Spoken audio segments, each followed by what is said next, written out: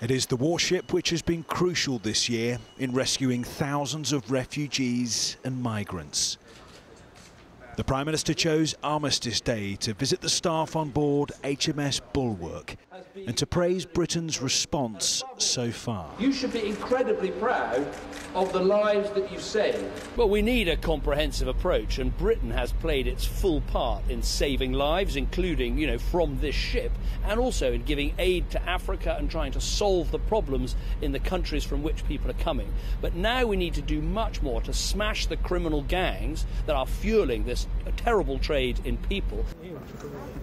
Today, more than 50 European leaders met in Malta to try to solve the crisis.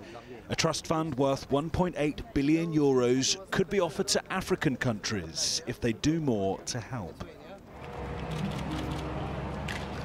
Malta itself has already borne witness to the treacherous toll of the ongoing crisis. In April, it held the funerals for the victims lost in the Mediterranean's worst ever migrant disaster. More than 800 died, but only 24 bodies were recovered. Over the last two weeks, 5 News followed the desperate journeys taken by desperate people, from the Greek island of Lesbos through to Austria and Germany. Leading aid charities hope this summit will lead to greater cooperation across the EU. We want to see countries of origin educating, raising awareness, supporting families so they know how risky this journey is. And as well as that, making sure there's real cross-border cooperation to make sure countries are working together so we don't see these continued images of children uh, being trapped at border crossings and being separated from their families.